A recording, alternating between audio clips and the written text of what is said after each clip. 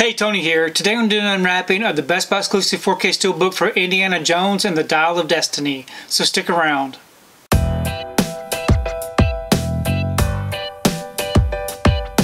So I've received my order for Indiana Jones and the Dial of Destiny. This right here's a 4K Steelbook from Best Buy. Here's the front. And here's the back. If you'd like to read up on it, check out these special features, you can go ahead and pause and do so.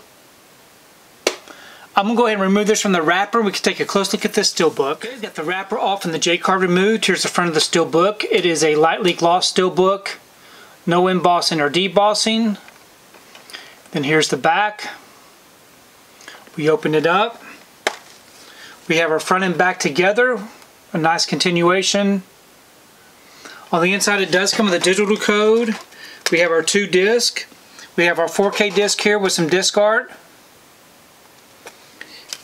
And we have our Blu-ray disc with some different disc art. And we do have some inside artwork. So overall it's a really nice looking steelbook. So I'm very happy to have this one added to the collection. I do see that this is sold out in stores and you can't even order it online any longer. So I'm very happy that I was able that I was able to pick this one up. I do want to take time just to show you the other um, releases for this title. We did get a really nice looking embossed slipcover for the 4K release. And we also got a Walmart exclusive with different artwork.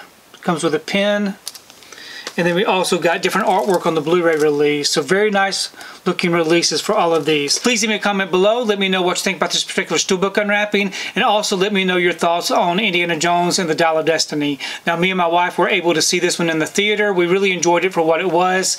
It did have some very slow moments and some very strange moments toward the end, but overall we really enjoyed it.